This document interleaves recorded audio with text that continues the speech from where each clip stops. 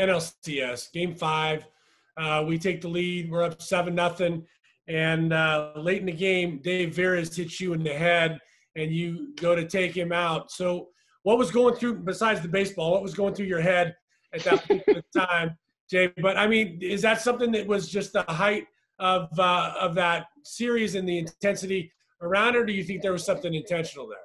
Um, well, I talked to a few veteran people after that that said he was probably trying to send a message to me as a young guy. I Apparently, they said I, I guess I swung out of my shoes or something, maybe the pitch before that. And you know, but I'm not a big fan of head hunting. And when you get hit, you know, it's like getting sucker punched. You know, you either there's either two things you do: you either stay down or you get up ready to fight. And after I got hit in the head, I got up ready to fight. And fortunately, in the back of my mind, I'm like, hey, you know what?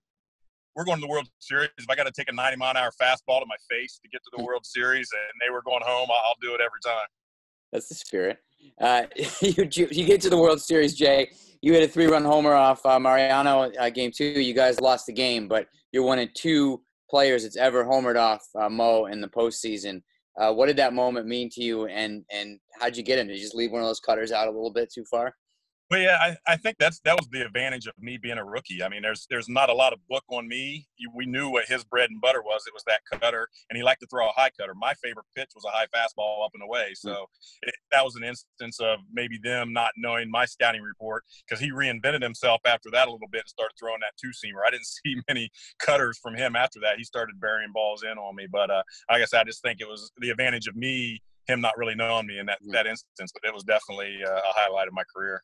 Jay, first game back after 9 11, Liza Minnelli sings New York, New York, and then gives you an embrace and, and a kiss uh, after uh, she sings it on the on deck circle. What did she say to you in that moment, and what was that like to experience?